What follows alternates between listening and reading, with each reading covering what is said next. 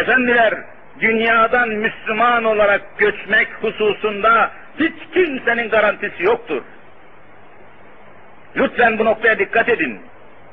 Peygamberlerden başka hiç kimse ben Müslüman olarak öleceğim diyemez. Garantiniz yoktur. İslam'ın hükmü bu.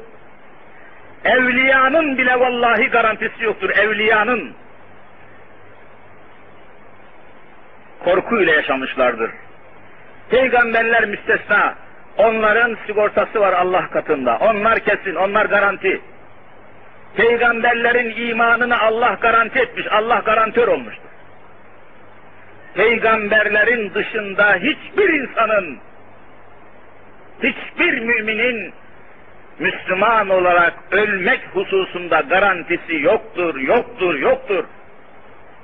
Öyleyse en büyük korkumuz küfür üzere ölmek olacaktır. En büyük korkumuz. Adam hiç korkmuyor, çekinmiyor, mesele yapmıyor kendisine. Ulu orta söylüyor, konuşuyor, gevezelik ediyor, laf söylüyor. Düşünmeden, taşınmadan, hesap yapmadan kelime kullanıyor. Halbuki kelime insanı imandan da çıkarır, imana da sokar.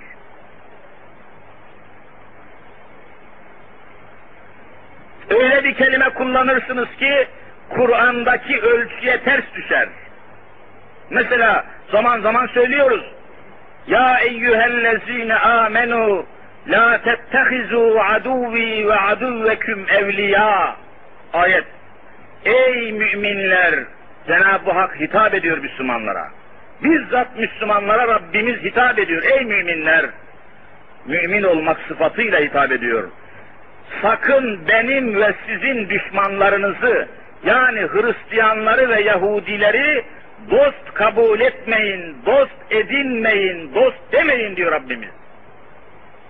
Bundan dolayıdır ki Amerika bizim dostumuzdur diyen George Bush bizim dostumuzdur, benim dostumdur, dostum George Bush diyen adam Kur'an-ı Kerim'in bu ayetine göre Allah'ı şahit tutuyorum ki kafir olur. Anında gider. Buraya dikkat etmek lazım. Yani lütfen Kur'an'ı anlayalım. Bir kelimedir insanı ayakta tutan. Müslüman olmamızın da İslam'dan çıkmamızın da bir kelimelik ömrü vardır. Şakası yok bu işin.